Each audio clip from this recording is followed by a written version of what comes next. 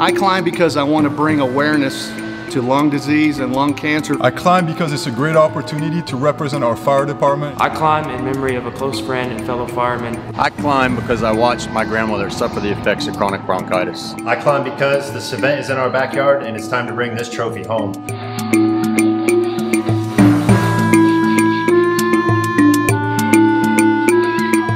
Encourage you to come out, participate, and support our team as we bring awareness to lung disease.